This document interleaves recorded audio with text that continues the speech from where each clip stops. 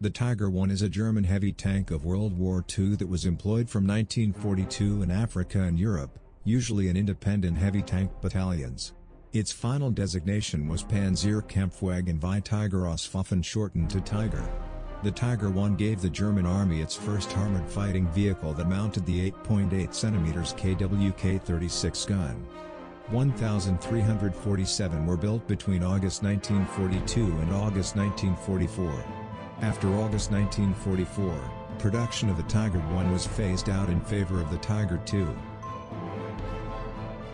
While the Tiger I has been called an outstanding design for its time, it was over-engineered, using expensive materials and labor-intensive production methods.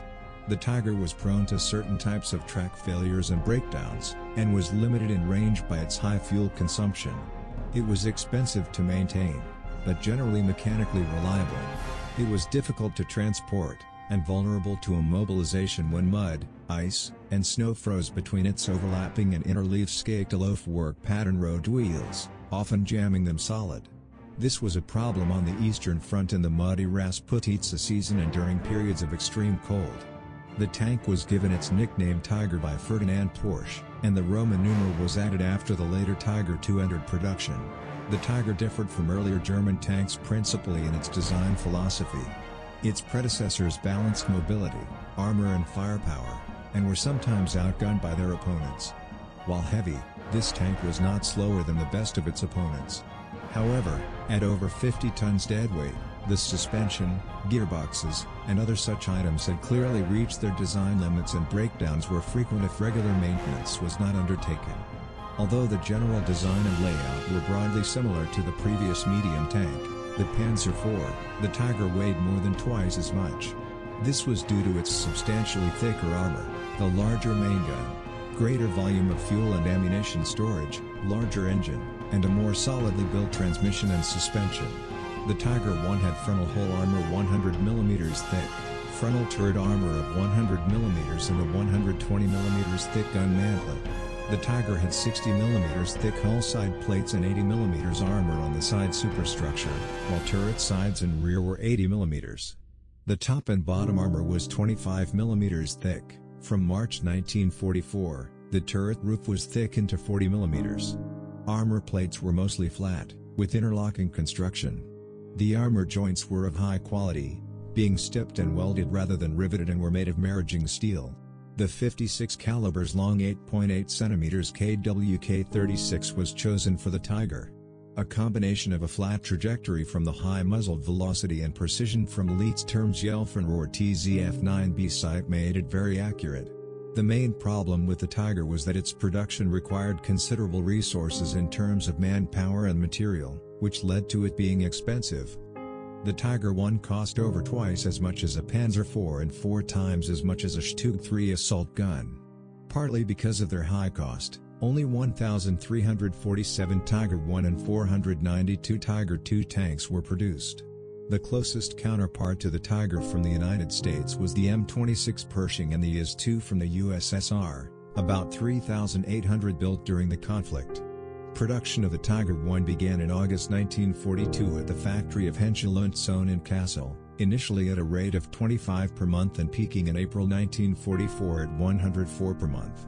An official document of the time stated that the first Tiger I was completed in August 4. 1,355 had been built by August 1944, when production ceased. Deployed Tiger I's peaked at 671 on July 1, 1944. It took about twice as long to build a Tiger I as another German tank of the period. When the improved Tiger II began production in January 1944, the Tiger I was soon phased out. Eager to make use of the powerful new weapon, Hitler ordered the vehicle to be pressed into service months earlier than had been planned.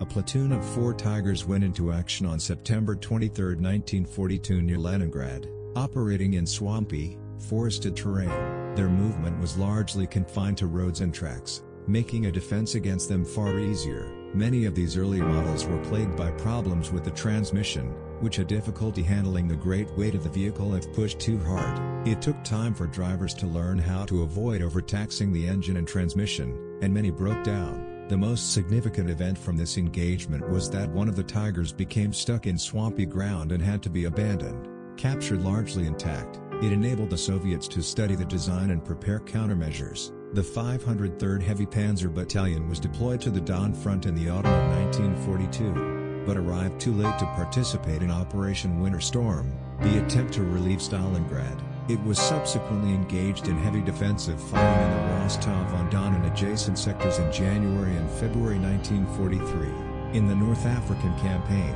the Tiger I first saw action during the Tunisia campaign on December 1, 1942 east of Tebourba when three Tigers attacked an olive grove 5 kilometers west of Djedeida. The thick olive grove made visibility very limited and enemy tanks were engaged at close range. The Tigers were hit by a number of M3 Lee tanks firing at a range of 80 to 100 meters.